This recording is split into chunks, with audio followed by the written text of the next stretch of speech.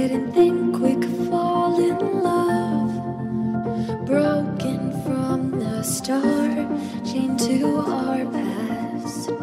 We had closed hearts.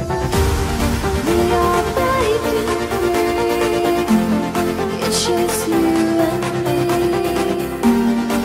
me.